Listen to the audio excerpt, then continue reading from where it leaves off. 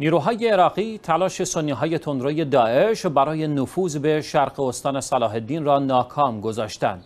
نهاد اطلاع رسانی نیروهای مردمی عراق در بیانیه اعلام کرد این نیروها مانع نفوذ عناصر داعش به دو منطقه زکبانه و باربار شده و آنها را مجبور به عقب نشینی کردند. در خبری دیگر یک جاسوس مهم وابسته به داعش طی عملیاتی توسط نیروهای امنیتی عراق دستگیر شد.